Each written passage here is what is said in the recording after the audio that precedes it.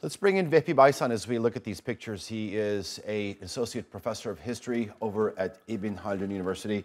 Uh, Vehbi, good to have you back on. Uh, Naim, in his news package, was talking about uh, the demise of the Ottoman Empire and the first years of the Republic. But in the first part of our conversation with you, I'd like to sort of maybe concentrate on the years that Ataturk was leading the country mm. and the years shortly after he passed away in 1938 up until about the 1950s, because that is an important sort of milestone in the country. Um, in 1923, when the Turkish Republic was, was founded, yes, it was a democracy, but it was a single party democracy. Oh, yeah, certainly. I mean, uh, but first let's remember that a few years earlier than that, the parliament was uh, announced. That's, uh, I think, another milestone. Uh, but that takes us back to uh, the tradition, almost half a century long tradition of relying on a constitution. That came in 1876 when Sultan Abdul Hamid assigned the throne. We call it the first constitutional era, and then 1908, second constitution. So you can see that the democratization did not happen in one day and one night. It actually goes back even to Sultan Mahmud's era, started in 1808 when he died 1839. So when it comes to the reforms in 1920s, a lot of it uh, were uh, uh, uh created to give uh, a spectrum and the future establishment or future investment uh, for the new republic. Therefore, they were quite strict and in a sense sudden and blunt. You see? Mm -hmm. So, like in um, 1924, we have uh, this new establishment as uh, adopting the criminal law as well as the civil law from Europe, each from other countries. And then 1928, the alphabet has been changed. And little after that, in 18, uh, 1931, we had the institution taking care of the both language and then another, uh, sorry, uh, Turkicizing the language more, bringing in Turkish uh, vocabulary. And then you have the uh, foundation of Turkish uh, history. So people really worked hard to get in. The party uh, came actually very active in 1930s, to be fair, until Atatürk's death in 1938. So there was a, you can see even the demand was there to have, you know, multi-party system. Mm-hmm. And, and, and late 1940s that they changed the law or, or, or, brought in new ones and we had all this multi-party system and 50s we have the election. What did, what did it mean for a country to move? Or it, it, it wasn't sort of like an overnight transition, as you say, but starting going back into, into uh, the late uh, 19th century, yeah. uh, where we actually had sort of tastes of, of pluralism, and then sort of going and actually really exercising that. This was really important for uh, the, the country that we live in today. Well, absolutely, absolutely. I think history helped us understand how things evolved, and it did not happen in, in one night. So therefore, I think it should be emphasized more. With my students, always uh, say these things.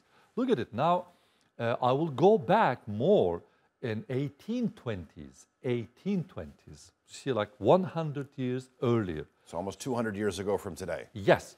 Sultan Mahmud II, he is the first one. Now look, I'm going to say something quite important, could be controversial, but he is, in my eye, the first Sultan started constitutional monarchy because willingly he distributed his power to the institutions.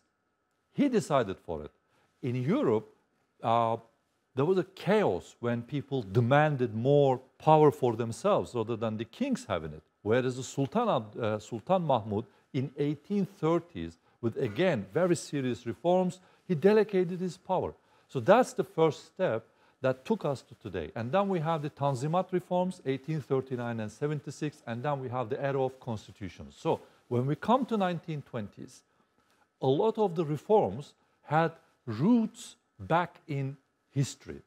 For example, the language was uh, one of the most criticized. I know uh, a lot of people say, well, probably we shouldn't have done it. But I know if you go to Turkish Ottoman archives, in 1850s, we have a lot of petitions in the form of layıha, presented to the Sultan that the children are struggling learning Ottoman language. Because the reason for this is that Ottoman language consists of three languages Arabic, Persian, and Turkish.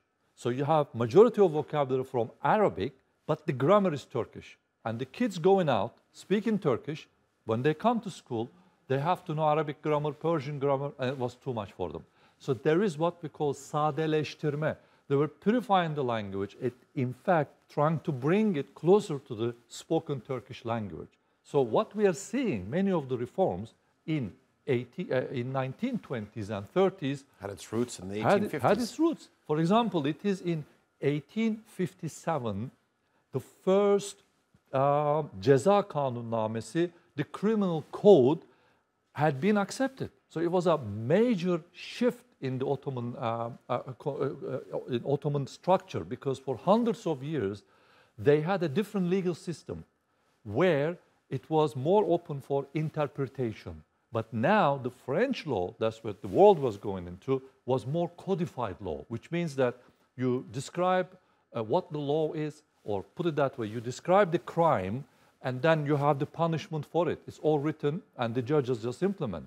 So when in 1920s a new uh, a criminal code was, or, uh, or justice system was established, what you can see, it's almost how many? Like not 100, but 75 years ago, they had it there, and the discussions and debates were already there.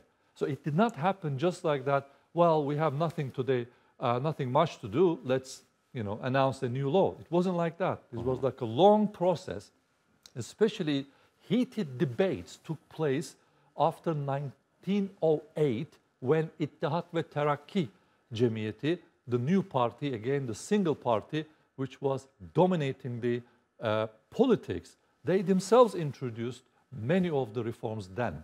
So these heated debates led to institutions adopting uh, Uh, new powers. In 1920s and 30s. Yes. And, and how did this sort of translate into the early years of the Republic and, and it sort of establishing its own identity? Well, it is again a long process. We can see it didn't happen in one day. The establishing the national identity starts as early as 1910s.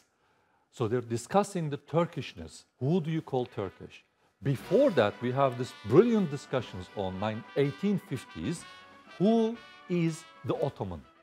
How do you describe Ottoman? Is the Ottoman the person who speaks Ottoman language or living in that territory?